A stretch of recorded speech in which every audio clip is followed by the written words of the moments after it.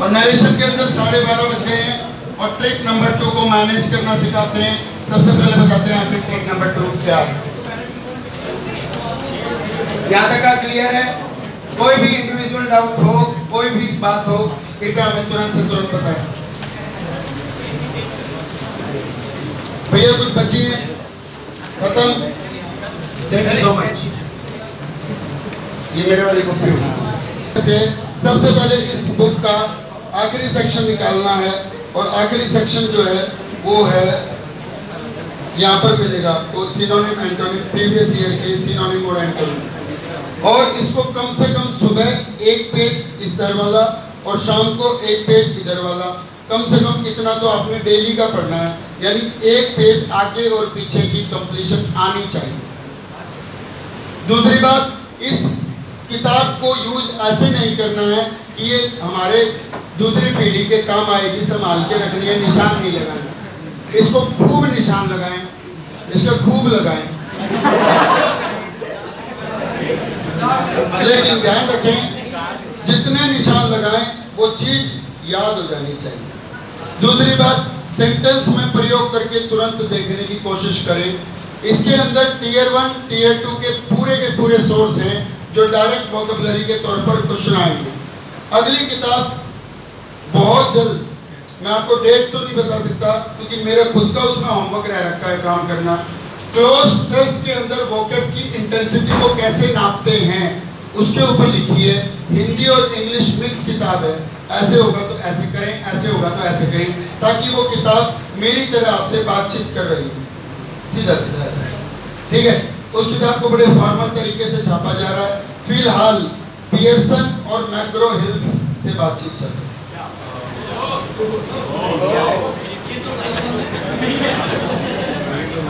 ठीक है? तो ना तो मेरे को चैनल खोलने की ज़रूरत, ना फ्री पढ़ाने की ज़रूरत। ठीक है?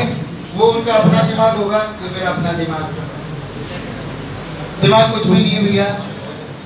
अगली किताब का नाम तो मैं ये सोच रहा था, दस हज़ार प्लस तिहत्तर सौ प्लस पाँच।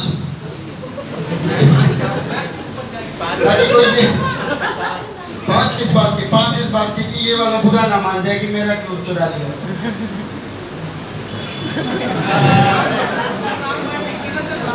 रामबाण इसमें राम नाम ना लिख at the moment okay trick number two अगर देखो, आपके पास डायरेक्ट स्पीच जो होता है, वो कैसा सा होता है, देखना कैसा सा होता है। इन्वर्टेड कोमा होता है और कुछ बाहर होता है। अगर बाहर आपके पास पास्ट है और अंदर भी पास्ट है तो बताओ इनडायरेक्ट स्पीच के अंदर पास्ट का पास्ट क्या बनेगा? पास्ट परफेक्ट तो ये पास्ट वाला किसमें बदल जाएगा? पास्ट परफेक्ट इतनी बात समझ में आ गई? ये तो हो गई ट्रिक और ये ट्रिक किस रूल से बनी है? आइए एक और चेक कर लेते हैं. अगर मैं कहूँ रूल को बाद में क्वेश्चन नंबर वन रूल के लिए बस चार लाइन चार या पाँच लाइन छोड़ के क्वेश्चन नंबर वन लिखिए शी से आई वॉज़ लेट शी से उसने कहा था, मैं लेट उसने जब कहा, तब वो लेट थी या उससे पहले लेट थी? उससे पहले लेट इसका मतलब सेड वर्ब की सेकंड फॉर्म है और वॉज़ वर्ब की सेकंड फॉर्म है। पक्की बात? अब बताओ सेड सेड ही रहता है अगर लिसनर का नाम नहीं है तो क्या हो जाएगा? शी सेड अगर इन्वर्टेड कॉमा उड़ाऊं तो क्या बनेगा? ये सारी सुनी सुनाई बात। आई किसके अनुसार चेंज हो जाएगा शी ये क्या लिख दिया शी अब इसका बाज का बाहर उठाऊं तो ये गलती हो जाएगी। अगर ये पास्ट है, ये भी पास्ट है तो ये नीचे पास्ट परफेक्ट में चेंज होगा। और पास्ट परफेक्ट जो होता है, वो होता है हैड प्लस वर्ब की थर्ड फॉर्म ठीक है? अब ये बताओ, व्यास किससे बना? जिसका कोई नहीं होता उसका। बी से बना? और बी की थर्ड फॉर्म क्या बनेगी? बी और ये इसका राइट आंसर बन जाएगा। She said that she had be late बात समझ में आई? क्वेश्चन नंबर दो। इसी पैटर्न पर। नहीं टोल्ड तब आता है ना जब लिसनर होता है। शायद बताया था आपको। यस सर नो सर अगली बात टाइप चेंज कर रहा हूँ। क्वेश्चन के अंदर एक क्वेश्चन भी बना रहा हूँ। टाइप भी चेंज कर रहा हूँ। कोई बात नहीं टोल्ड वाले पे आ जाओ, घूम फिर के। भाई, नाम क्या है? Kulwant. K U L W A N T Kulwant said to Jesus Anas, स्वर्ग। अर्थ होता है। नहीं तो देवता होता है। अर्थ पता तुम्हें अपने नाम A N A S Anas.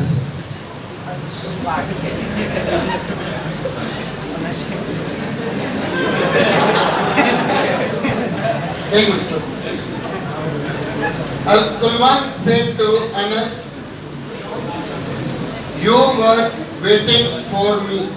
You were waiting for me. Then, you were waiting for me. तुम मेरा इंतज़ार कर रहे थे और ऐसा कुलवंत ने अनस से कहा, कब कहा भैया? पास्ट में। और एक्शन भी कब चल रहा था? पास्ट में। अगर अंदर पास बाहर पास तो पास का पास परफेक्ट और पास परफेक्ट प्लस की तो बताओ कुलवंत का क्या बनेगा? कुलवंत सेड टू का क्या बन जाता है? टोल्ड अनस का क्या रह जाएगा? इन्वर्टेड कॉमा का के यू किसके लिए? अनस। अनस के लिए। वर्ब को किसमें बदल देंगे बोझ में? नहीं। वर्ब यहाँ पर पास्ट टेंस है। और पास्ट टेंस को पास्ट परफेक्ट में बदलेंगे। और हैड और वर्ब की पास्ट फॉर्म थर्ड फॉर्म क्या बनेगी? बीन हैड बीन और ये वेटिंग का क्या बन जाएगा? यस और नो फॉर मी का क्या बन जाएगा? हिम और देन का क्या रह जाएगा? देन अबे हो। देन का देन रहेगा, धनाधन। ठीक है? अब देखो रूल क्या था? अगर बाहर पास्ट है और अंदर सिंपल पास्ट टेंस है तो सिंपल पास्ट टेंस को पास्ट परफेक्ट में बदल देते हैं। बताओ सिंपल पास्ट को पास्ट परफेक्ट में बदला नहीं? पक्की बात। फिर लिखा था दूसरी रूल अगर पास्ट कॉन्टिन्यूस है तो उसको चेंज करके पास्ट परफेक्ट कॉन्टिन्यूस में कर देते हैं। देखना पास्ट परफेक्ट कॉन्टिन्यूस बनाया नहीं? सो पास्ट कॉन्टिन्यूअस था तो past perfect continuous had plus been plus first form with ING हो गया ना अब बताओ अगर पेपर में खुद पास्ट परफेक्ट आ जाए पापा का पापा आ जाए तो जब पास्ट का पास्ट हो गया पास्ट परफेक्ट तो क्या पास्ट परफेक्ट का भी पुराना कुछ होता है? नहीं। फ़िलहाल अभी इसके ऊपर कोई आविष्कार नहीं हुआ है। सिलेक्शन होने के बाद आप सो इसका रहेगा? नो चेंज चेंज नहीं करना है यहाँ पे। ठीक है? अगला देखिए। अगर आपके पास पास्ट परफेक्ट कॉन्टिन्यूअस टेंस होगा तो उसमें कौन सा चेंज होगा? तो ये अपनी अंतिम लेवल तक पहुँच चुका है। अब इसके अंदर कोई गुंजाइश बदले जाने की नहीं है। इसलिए इसको लिखते हैं नॉट चेंज तो ये भी लिख लीजिए, ये भी लिख लीजिए। मेरे ख्याल से आपको समझ में आ गया। अब सीधे सीधे क्वेश्चन पर आता हूँ। क्वेश्चन नंबर तीन। ये क्वेश्चन नंबर वन ड्रॉप कर सकता हूँ? ये सुनो। लिख लीजिए, जो भी लोग लिख रहे हैं। Take your time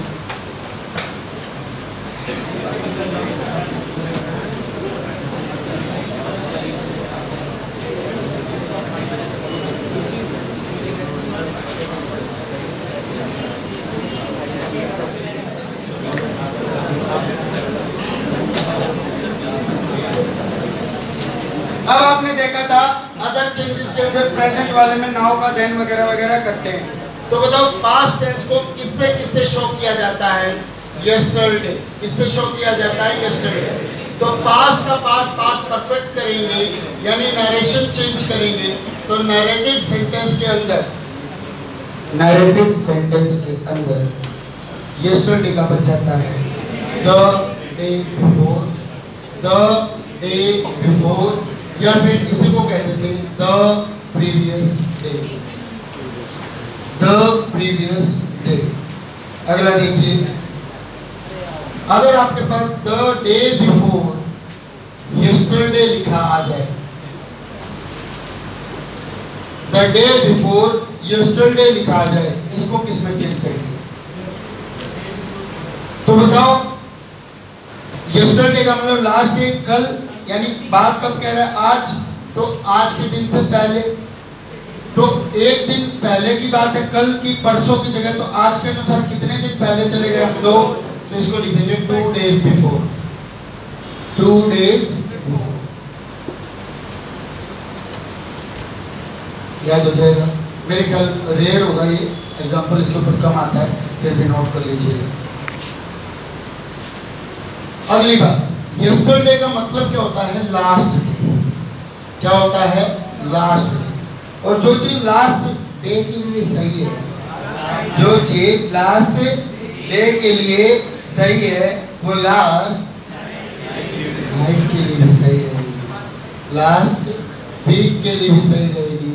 last month के लिए लास्ट ईयर के लिए लास्ट डेकेड लास्ट सेंचुरी सबके लिए ट्रू रहेगी। तो ये कॉमन आ गया? लास्ट कॉमन आ गया तो बाकी कोई भी टाइम एक्सप्रेशन हो तो बताओ यस्टरडे को आपने किसमें बदला था? डे बिफोर तो लास्ट डे को यस्टरडे कहते तो इसको भी क्या कह सकते हैं? द डे बिफोर तो लास्ट डे को द प्रीवियस डे भी कह सकते हैं। द प्रीवियस डे यस और नो अब बताओ लास्ट डे के लिए the day before the previous day है। तो बताओ लास्ट नाइट के लिए the day the night before the previous night दोनों हो जाएँगे। वीक के लिए the week before the previous week दोनों हो जाएँगे। The month before the previous month दोनों हो जाएँगे। The year before the previous year दोनों हो जाएँगे। प्रीवियस ईयर एग्जामिनेशन जो आ चुके लास्ट का। और अगला decade the day the decade before the previous decade इस तरीके से होगा समझ में आया? सर, अगर दोनों के दोनों आ जाएँ तो दोनों ही ठीक है और ज़्यादा ठीक प्रीवियस डे प्रीवियस उसको माना जाता है। ये आता ये वैसे दोनों एक साथ it creates ambiguity with a very high intensity एक, कल रात 11 बजे के आसपास मेरे दिमाग में एक सेंटेंस बना, ग्यारह, सवा ग्यारह के आसपास। और मैं उसको कि इससे कोई टॉपिक से मतलब नहीं है, बस ऐसे समझाने के लिए। He has done away the project was done away with without delay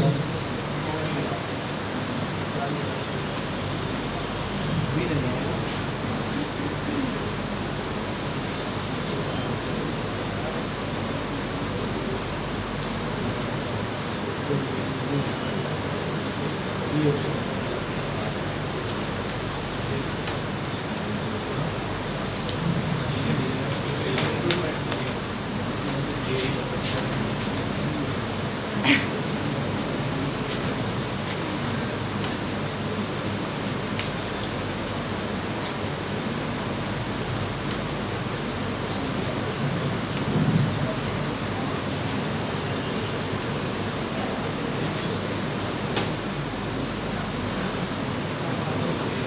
कितने बच्चे मेरे पास ये पूछते हैं, ईमानदारी से अपनी छाती पर हाथ रख के खुद भी पूछना ये बात कि, सर, आप पढ़ाते हो तो भी समझ में आता है। किताब से करते हैं तो भी समझ में आता है। जिस दिन मौका करते हैं मॉक टेस्ट करते हैं, उस दिन नहीं होता और जो उसका सोल्यूशन आता है, फिर जाके अच्छा ये फिर कहीं ना कहीं आपकी बात याद आ ये कितनों के साथ हो रहा है? मैं वादा करता हूँ आपके साथ, कोई ऑनलाइन नहीं, कोई किताब नहीं, इस बात के लिए मैं फ्री सेशंस लगाने का सर आप तो सीपीओ के टाइम पे भी कह रहे थे तो हमारी दोस्ती अच्छी चल रही थी कंपनी से The project was done away with or without delay as he reached the urgent decision. हाँ भाई, तुम बताओ. No doubt. कितने लोगों को ये लग रहा है ए आंसर आएगा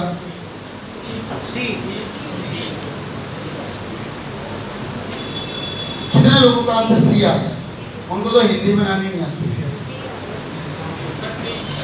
डी आंसर किस किस का डी नो इम्प्रूवमेंट कोई गलती नहीं बहुत सही है salute to all of you क्योंकि डू अवे विद एक फ्रेजल वर्ब होती है जिसका मतलब होता है किसी चीज़ को कैंसिल करना बता रखा ओ बी हाँ। जो पढ़ा था इसका तो repeal decide revoke retract countermand question nullify ये भी सिनोनिम्स है।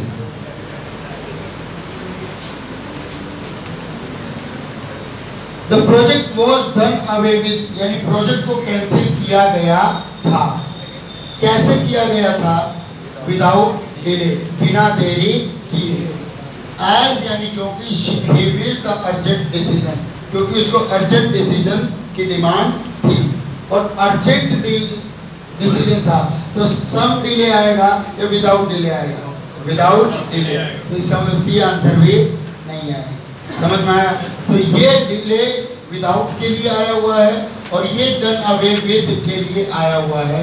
दोनों चीज़ें अलग अलग और ये दिमाग अब खुलना शुरू हो गया होगा, क्योंकि दो दो शब्द एक जैसे अगर आ जाते हैं तो अपन सोचते हैं ये रिपीटेशन क्रिएट कर रहे हैं और इसलिए गलती है। क्या हमारे दो डाट जो आए थे वो गलत थे? नहीं। नहीं। तो क्या ये विद और विदाउट एक साथ आ गए क्या गलत है? नहीं नो है। समझ में आया थोड़ा सा? ठीक है फ्रेजल वर्ड टाइप के वर्ड्स होते हैं। आजकल पेपर में ये आता है। और ये प्रैक्टिस करके ही समझ में आते हैं। चलिए question number last day last month last year ये सारा बता दिया अब आपके पास question number three she said to me she said to me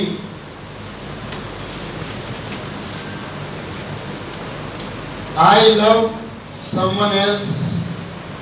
I love someone else, but I was in love with you. Last year देखो इसमें दो चीज़ समझानी है She said to me, I loved someone else, but I was in love with you last year. किसी का नाम नहीं लिखा मैंने मेरे ऊपर ले लिया सेंटेंस समझो इसको She said to me क्या बनेगा She पूरा का पूरा ध्यान देखो ग्रामर पे रखो वर्ब का है सब्जेक्ट का है चेंज क्या होगा प्रोनाउन क्या है एडिशनल वर्ड्स क्या है, बस। शी टोल्ड पूरे सारे बोले शी टोल्ड दैट आई किसके अकॉर्डिंग शी लव्ड वर्ब की सेकंड फॉर्म है, ये भी सेकंड फॉर्म है, क्या बनेगा? हैड प्लस वर्ब की third form had love someone else का क्या बन जाएगा? समवन एल्स कोई गलती नहीं है। बट का बट रह जाएगा आई किसके लिए आया? शी शी वॉज़ वर्ब की सेकंड फॉर्म है, ये भी सेकंड फॉर्म है। बताओ वॉज़ का क्या बन जाएगा? हैड भी हैड तो हैड लगेगा ही, लेकिन बी की पास्ट फॉर्म बी वॉज़ और बी की third form be in love with अब बताओ ये क्या लिखा हुआ है? यू और यहाँ पे क्या लिखा हुआ मी तो ये भी क्या पता चलेगा सेकंड पर्सन किसके अकॉर्डिंग चेंज होता है? ऑब्जेक्ट के अकॉर्डिंग ये क्या हो जाएगा? मी लास्ट ईयर लिखा हुआ है। लास्ट ईयर का क्या होना the day before the the year before या the previous year the previous year को चूज़ कर लीजिए और सीधा सीधा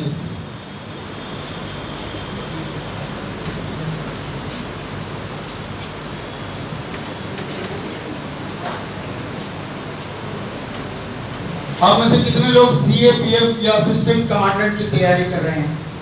वो लोग अब क्वेश्चन देखते हैं। सर, बाकी लोग बाकी लोग भी सीखिए।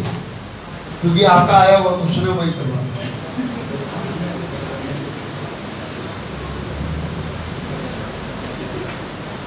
क्वेश्चन था चेंज द नरेशन और जब भी क्वेश्चन आ जाए चेंज द नरेशन या चेंज द वॉइस तो उसका मतलब ये नहीं होता कि एक्टिव से पैसिव ही बदलना हो। सकता है पैसिव दे रखा हो तो एक्टिव में बदलेंगे। तो ऐसी नरेशन के अंदर डायरेक्ट को दिया होगा तो इनडायरेक्ट में, और इनडायरेक्ट दिया होगा तो डायरेक्ट में। आइडेंटिफिकेशन केवल एक चीज़ बता देगी इन्वर्टेड कोमा वाले डायरेक्ट और बिना इन्वर्टेड कोमा वाले इनडायरेक्ट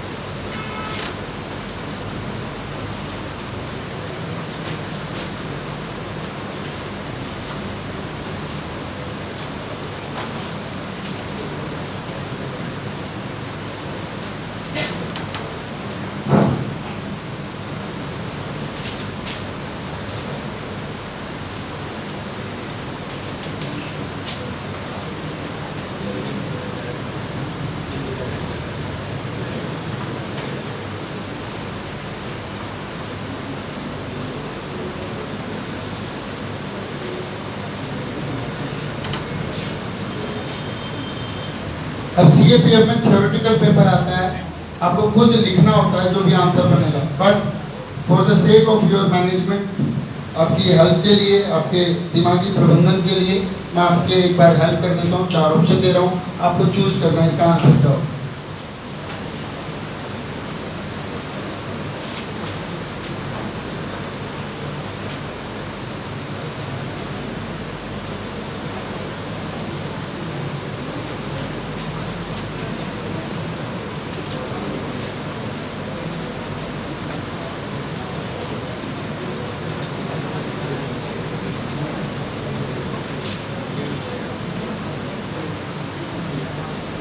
अच्छा ये देखो the officer said to the soldier यहाँ सेम रहेगा ये सारा का सारा।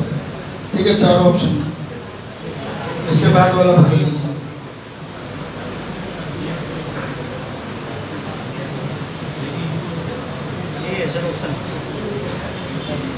रुक जाएगा। अगर नहीं आ तो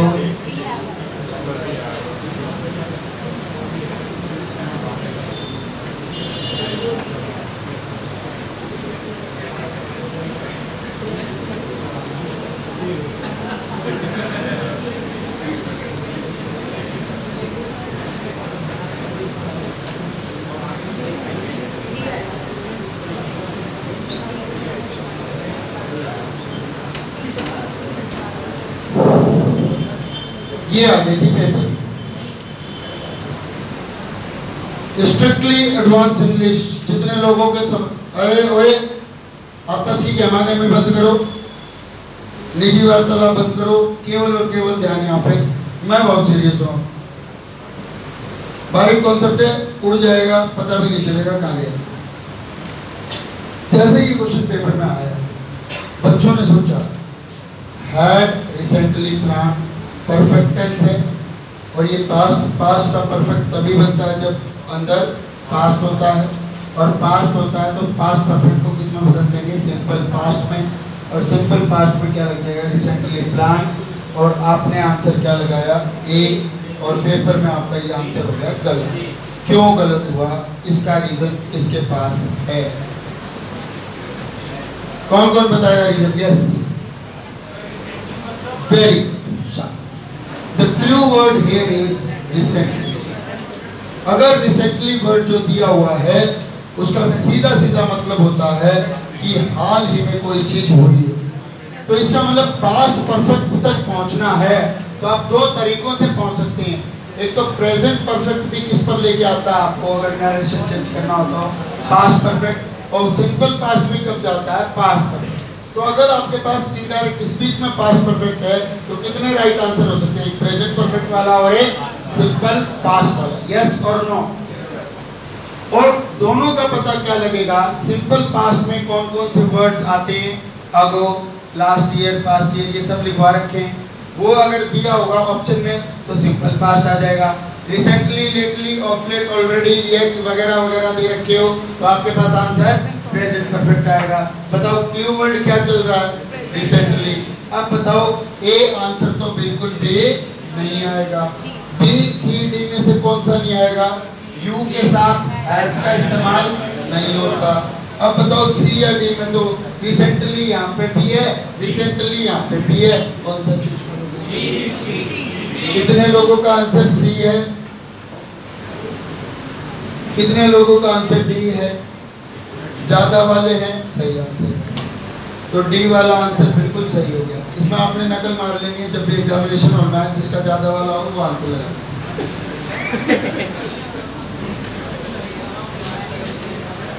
हाँ।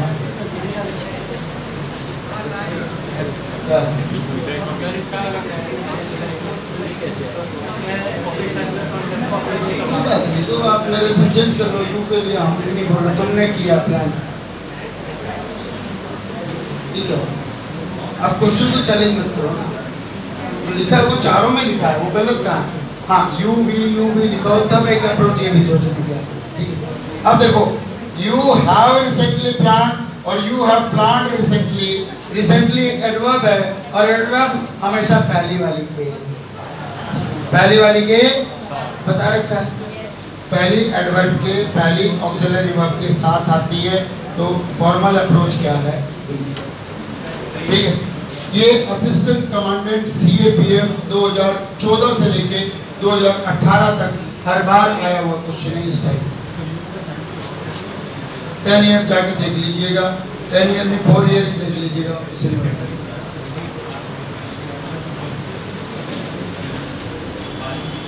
दूसरी बात, इसी पास्ट के अंदर अगर आपके पास अगो लिखा आ जाए तो अगो को किसमें चेंज कर देते हैं?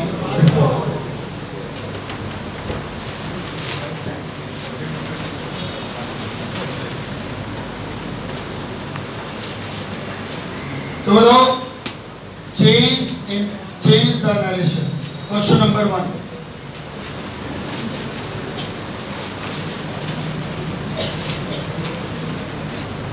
you say to me you were my classmate then दूसरा I said to you, you helped me a few years ago.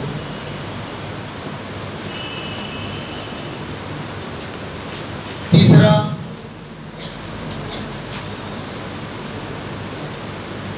Sheila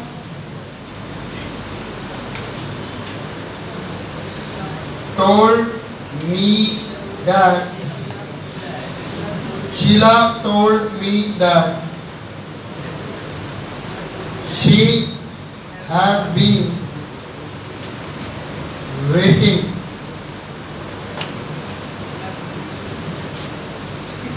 for me since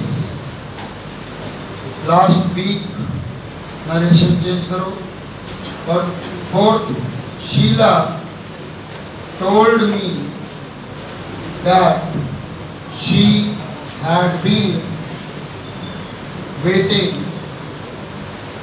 Then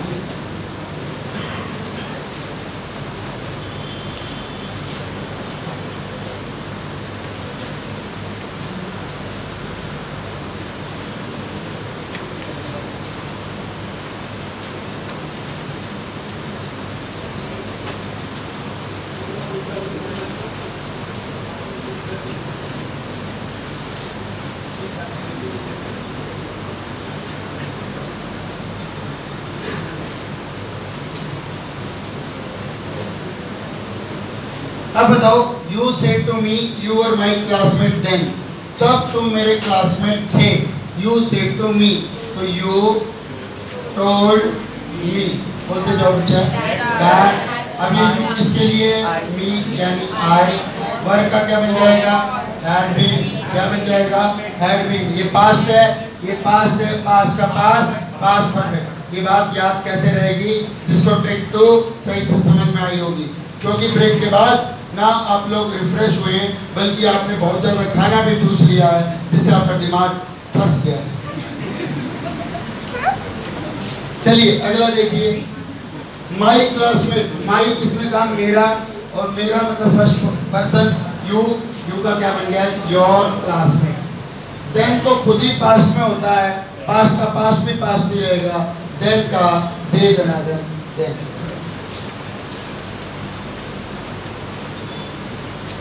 question number two के लिए कितने लोग तैयार है? रेडी सब आंसर हम देंगे। यस आवाज़ आए बढ़िया सी। आई बोल भाई। I told you that you you का यू रहेगा। क्यों? वेरी गुड यू सब्जेक्ट है या ऑब्जेक्ट है?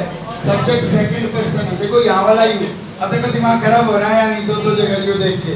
यहाँ पे भी यू यहाँ पे भी यू यू का स्क्वायर हो गया.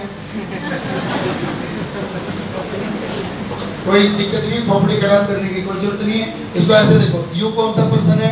सेकंड पर्सन और सर ने बताया था सेकंड पर्सन किसके अकॉर्डिंग चेंज होता है? ऑब्जेक्ट के. और यहाँ पे भी ऑब्जेक्ट में भी क्या है यू तो यू ओवरलैप किसको कर गया? यू को। क्या बन गया? ठीक है डरना नहीं है। नहीं डरना नहीं डर, नहीं। I told you that you helped helped का क्या लग जाएगा? एक और लग जाएगा इसके।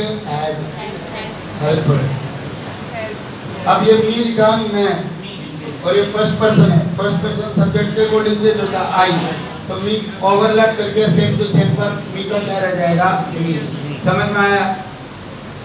A few years ago. A few years को a few years लिखिए। और ago क्या बताया सर ने? Ago का क्या करते थे before. तो ये क्या हो जाएगा? Before. ठीक है? अगला देखो। अब बताओ, इसमें करना क्या तीसरा चौथी में? डायरेक्ट को इनडायरेक्ट या इनडायरेक्ट को डायरेक्ट इनडायरेक्ट को डायरेक्ट कितने लोग बदल के दिखाएँगे? तो करो। करो मेहनत, करो पाँच, सात मिनट, दस मिनट, एक घंटा।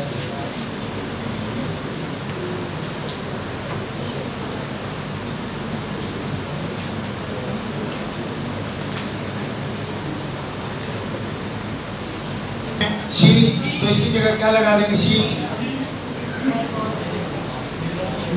अच्छा हीना लिखा तो ही लिख देंगे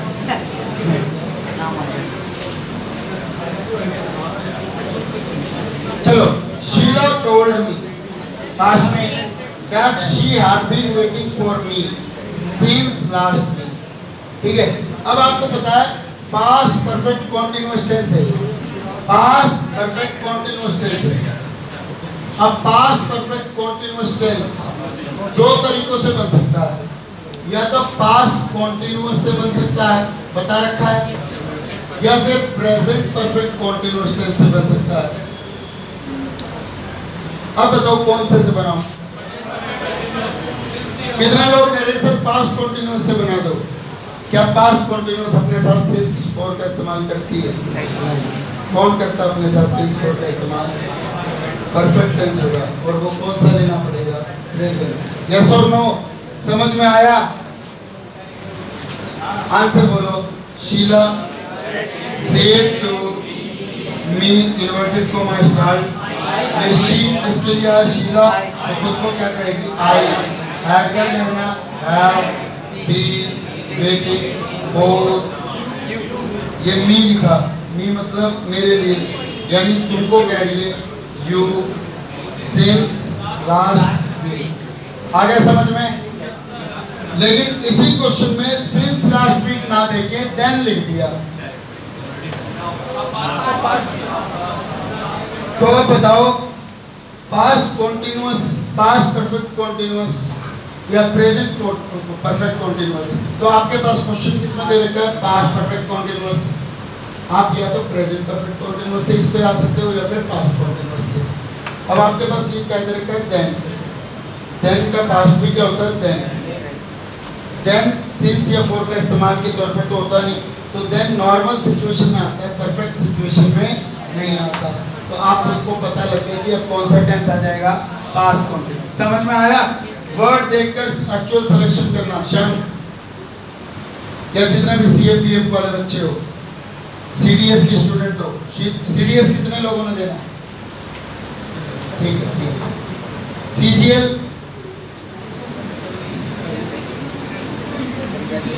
किस चीज़ का बैच है?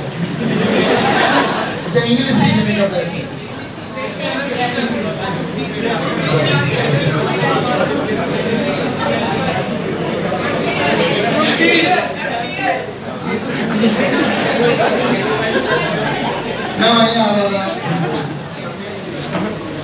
चलिए, कुछ बच्चे कह रहे हैं, एक बार दोबारा हो जाए। पूरा टेंस तीन प्रकार के होते हैं।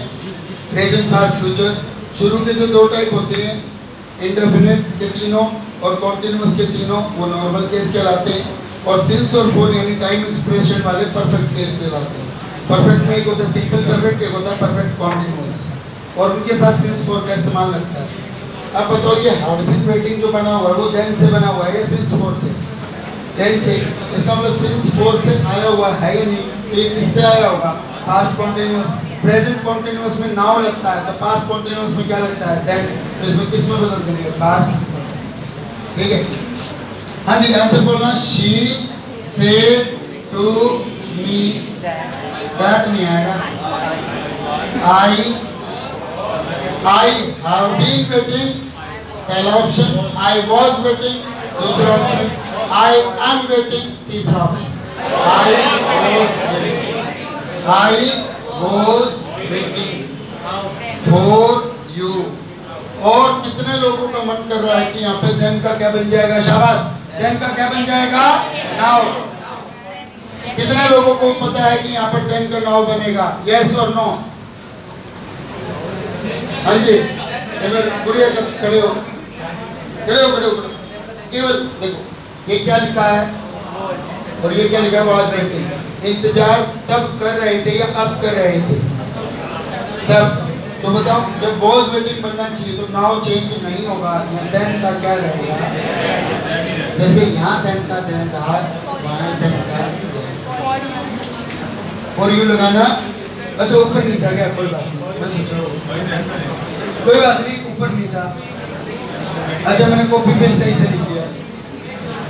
कोई बात नहीं हाँ ब्रेक ब्रेक नहीं, छुट्टी कर दूँगा बस अभी, बावन मिनट बाद।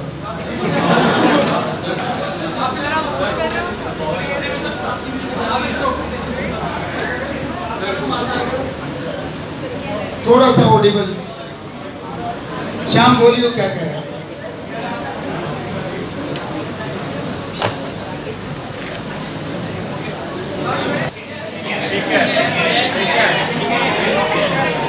नहीं प्लीज़ किसी भी कॉपी नहीं नहीं।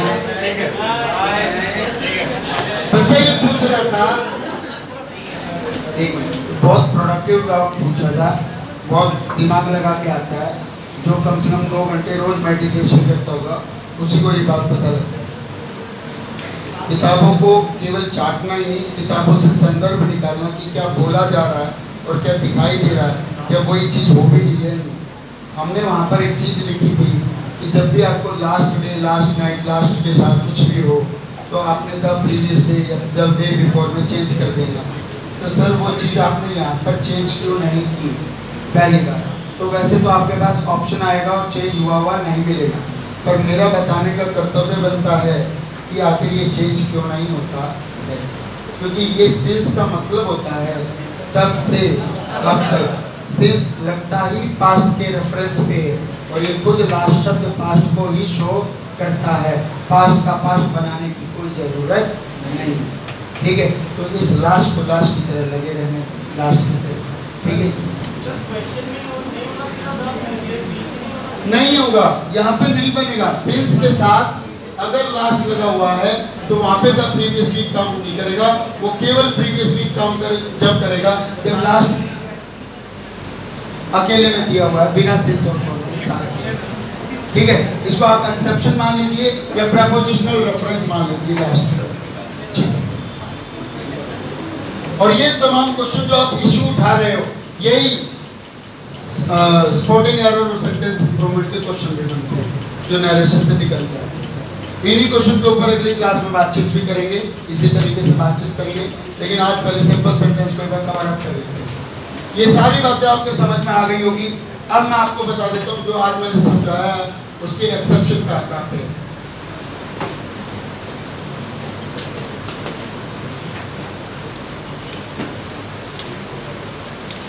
अगर मैं कहूँ, पहला सेंटेंस देखो।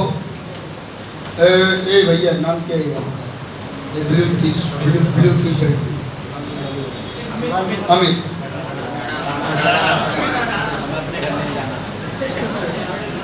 Amit और अमित तेरी सबसे अच्छी दोस्त का नाम?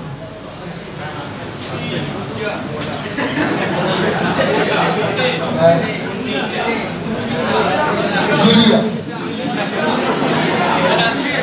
हमें से टू जूलिया।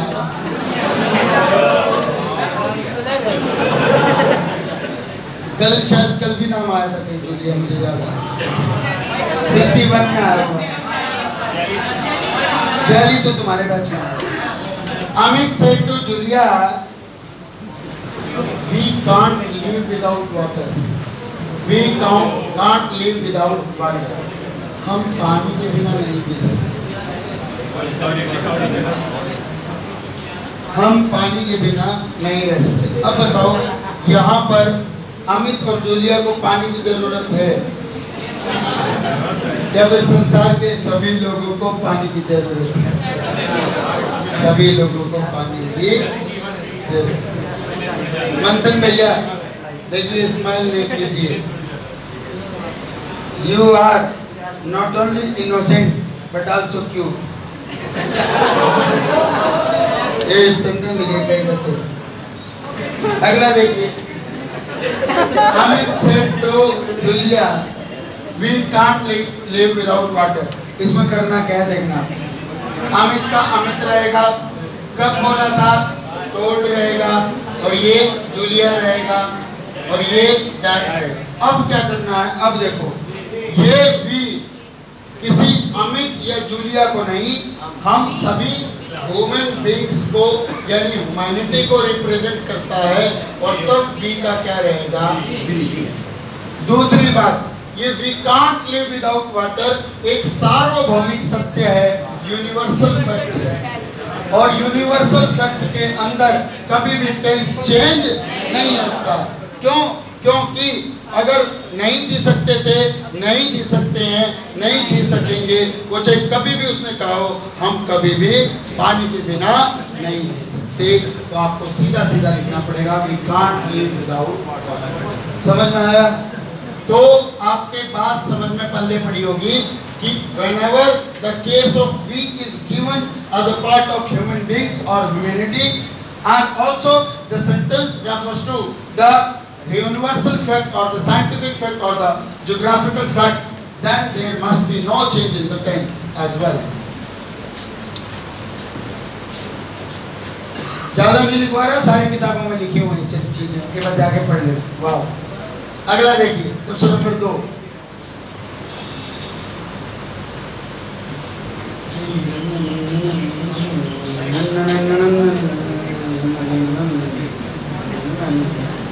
अगला देखिए हाँ भाई, Sharma, Mr Sharma. Mr Sharma ji.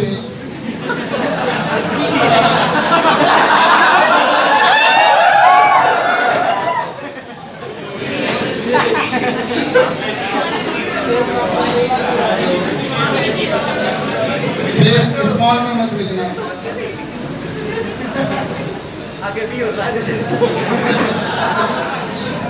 Mr Sharma said to Mrs Swaraj Mr Sharma said to Mrs सब स्वराज सुषमा भी लिखो। क्यों लिखो? आज आप send Mr Sharma to Mrs Swaraj नहीं इस बार टिकट नहीं लेना उसने। बोला अब नहीं लड़ूँगी मैं। अब नहीं लड़ूँगी। और मान लो ये अरुण जेटली और ये अडवाणी वगैरह वगैरह, ये जितने नीचे के थे, मोदी के नीचे नीचे, अगर नॉमिनेशन से पहले वाले दिन कांग्रेस ज्वाइन कर ले।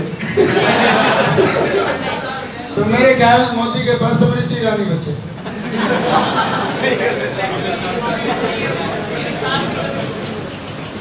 एक ही है भैया इस मोदी जी मोदी जी मोदी जी। अभी पता लगा ग्रेजुएशन पूरी नहीं है। और ये यूनिवर्सिटी से पीएचडी है। बताओ बिना ग्रेजुएशन पीएचडी कौन करवा रहा है? ऐसी पप्पू यूनिवर्सिटी कौन सी बताओ यार मतलब खुद ऐसे Mr Sharma said to Mrs. Swaraj,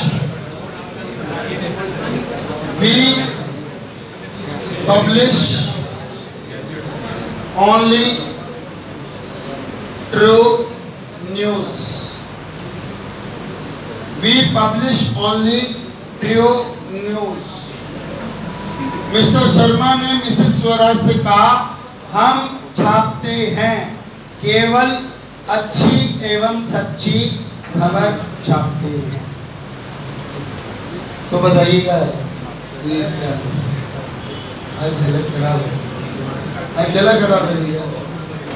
कल कल इतनी तेरह घंटे की क्लास थी ऑनलाइन ऑफलाइन मिला के और ये सब करके। और सुबह फिर आठ बजे फिर से मैथ की और रीजनिंग की क्लास थी। नहीं, मैं मैं बता रखा कई बार, आठ से ग्यारह मेरा सी में बैठ maths and English math and reasoning पढ़ने या पढ़ा अरे पढ़ेगा कौन अब कौन पढ़ाएगा मेरे को? फ़ीस है नहीं मेरे पास। पैसे मिलते नहीं।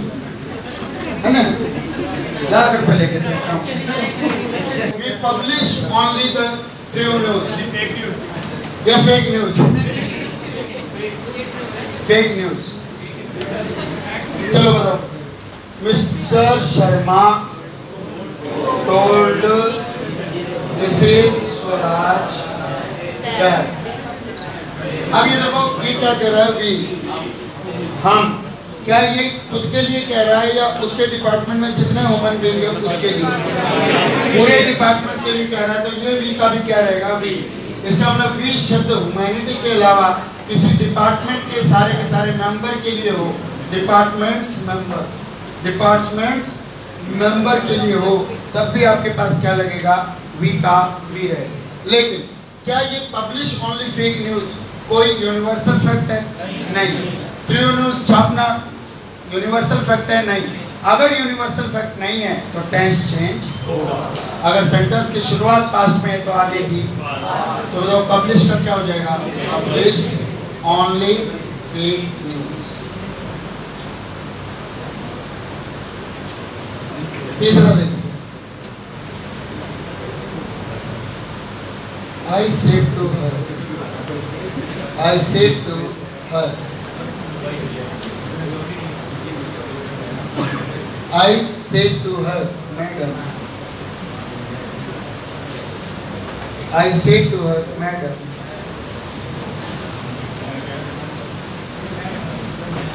बैठ बुला रहा हूँ नहीं madam we all are mortal. Madam we all are mortal. जब भी आपको अपने जीवन में थोड़ा सा भी घमंड होने लगे तो वो कभी याद करना शुरू कर दिया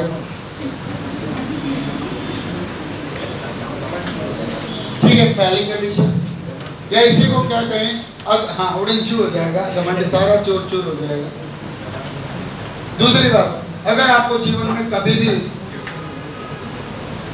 घमंड हो तो मिट्टी उठा के पूछ लेना क्या सिकंदर तेल में ही मिला है। यस और नो कितने बड़े बड़े योद्धा गए बड़े बड़े आए, विश्व विजेता बने और बनकर अपना रोल प्ले कर कर चले गए। तो घमंड नहीं होना चाहिए इंसान के अंदर। और उसी के लिए कहा, सबने मिट्टी में मिल जाना है। इंसान नश्वर है, ईश्वर नहीं है। और जिसका खत्म होना, नाश होना निश्चित है, उसको बोलते हैं मॉडल और ईश्वर के लिए बोलते इमॉर्टल जो कभी भी डिवास्टेटेड या डिस्ट्रक्टेड नहीं है। मीनिंग ये है, कहने का सार ये था। आई सेड टू हर अब देखो ये जो वर्ड लिखा हुआ है मैडम अभी तक हमने मैडम या सर लगाया कहीं? नहीं लगाया। क्यों नहीं लगाया? बेसिक बात कर रहे थे। एडवांस के अंदर देख लीजिएगा। अगर आपके पास इन्वर्टेड कॉमा के अंदर किसी को मैडम या सर कहा जा रहा हो तो मतलब किसी को मैडम या सर कह के पुकारा जा रहा है। और जब भी मैडम या सर कह के पुकार आपने मेरे से एकदम से डाउट पूछा, सर, ऐसे करते हो, ऐसे कैसे आएगा? तो मैं कहूँगा, आपने तो अपना सर इसलिए बोला क्योंकि मेरा असर लेकिन मैं भी अगर रिप्लाई में ये कह दूँ, सर, अगर आप इस बात को अगर पिछले कॉन्सेप्ट से और एग्ज़ाम्पल से रिलेट कर रहे तो आपको ये फील होगा। ओके सर तो इसको कितना अच्छा लगेगा? ठीक है। और इसी की जगह एग्जांपल यहाँ से किसी ने पूछ लिया। सर ऐसे नहीं समझ में आ रहा। ऐसे मत करो। तो मैंने कहा जी, मैम, कैसे करूँ? तो मैंने पूछा, मैम तो जब भी आप सर या मैम लगाते हो तो इसका मतलब हो जाता है रेस्पेक्टफुली रेस्पेक्टफुली तो यहाँ पर जब भी सेंटेंस यहाँ तक बनेगा, इसके बाद क्या लग जाएगा? रेस्पेक्टफुल तो पहला तो बनाओ I told her respectfully respectfully अब उसके बाद लगेगा इन्वर्टेड कॉमा की जगह दैट क्योंकि रेस्पेक्टफुली क्या है बच्चों? एडवर्ब एडवर्ब हमेशा किसकी विशेषता बताती है? वर्ब की. तो I told her respectfully bad इतना बना लोगे? अब बताओ, मैडम शब्द या सर शब्द की इंक्वायरी जो थी, वो यहाँ आ चुकी है रिस्पेक्टफुल में। You need not repeat again ये रिपीट द वर्ड मैडम और sir we all are mortal हम सभी नश्वर है। बताओ, ये वी किसको कह रहा है? आई खुद को, या मैडम जी को, या सबको? तो वी यहाँ पर किसकी भूमिका निभा रहा है? वी का क्या रहेगा? ऑल के साथ ऑल बताओ वी ऑल आर मॉर्टल क्या ये एक सेंटेंस सार्वभौमिक सत्य है या नहीं? तो आर लगेगा या वर्ब तो बेसिक सेंटेंस की शुरुआत पास्ट में है आगे क्या होना चाहिए था कानून के हिसाब से? पास्ट लेकिन यहाँ पर फिर भी क्या रहेगा? यूनिवर्सल फैक्ट टेंस चेंज नहीं होंगे। आपने बहुत बढ़िया आज पढ़ाई की, बहुत बढ़िया सुंदर पढ़ाई की। थर्सडे को आपके साथ रिस्पेक्टिव बैचेस के अंदर अलग अलग क्लासेस लगेंगी। और आपके साथ एक बहुत बढ़िया सेशन लेने की शुरुआत करेंगे। मैं भी अपना थोड़ा थोड़ा कंटेंट अलग अलग तरीकों से आपके लिए जिस भी बैच में जो जो जो चल रहा उसके एडवांस क्वेश्चन क्या क्या बन सकते हैं उसके ऊपर काम करेंगे। थर्सडे को आप लोगों के साथ मुलाकात होगी सिक्सटी वन के साथ तो सर्टेनली मुलाकात होगी। आज के लिए इतना ही। बहुत बहुत धन्यवाद। जय जय भारत। भारत माता की। एक पोएम थी मेरे पास आज। जितने लोग जाना चाहे वो जाए। लो बैठना सुना दूँगा भाई साहब। जितना जाना है girls please I think you are getting late boys आप भी लेट हो रहे हैं, जितने लोग जाना चाहें। अगर वो बैठे हो तो पाँच मिनट बैठना बस। अच्छा फिर बीच में मत एक बज के तीस मिनट घड़ी के अनुसार हो गया है। अब गला साथ नहीं दे रहा है। गा के सुनाऊँगे बोल के।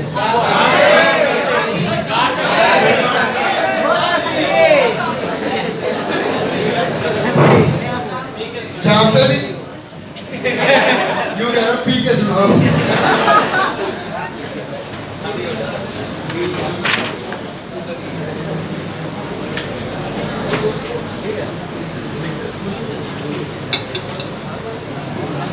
हाँ आपको पता है पीलिया के दौरान जब पीलिया कौन सा रोग होता है? जॉन्डिस के दौरान सबसे ज़्यादा affected area part of body liver तो इसका मतलब लीवर सबसे ज़्यादा किसके थ्रू खराब होता है? दारू। हाँ इसलिए बना जिसने ज़्यादा पी लिया उसके हो गया? ठीक है। एक पीलिया उड़ने का भी आपका। है पता है किसी को। मम्मी से पूछना जाके दादी से पूछना नानी से पूछना। चलिए ये भी नोट करेगा। ये ये।